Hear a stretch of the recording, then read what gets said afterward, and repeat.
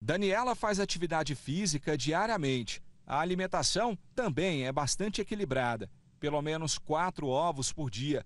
E cada vez que ela vai ao mercado, a conta fica mais cara. Fiquei assustada, porque como eu costumo mais de 100 ovos por mês, então é, ele afeta demais o meu orçamento né, do supermercado. Então eu fiquei bem assustada. A dúzia do ovo pode ser encontrada por preços que variam de 6 até 8 reais, dependendo do tipo.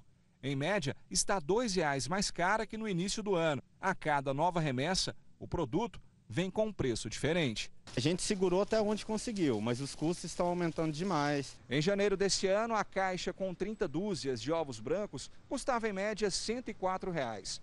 Agora, a mesma quantidade sai por 142 reais.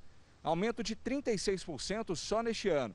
E a maior cotação da história. O produto já apresentava tendência de alta desde o início da pandemia, mas os preços agora explodiram. O milho e o farelo de soja são cotados em dólar e ficaram mais caros com a guerra.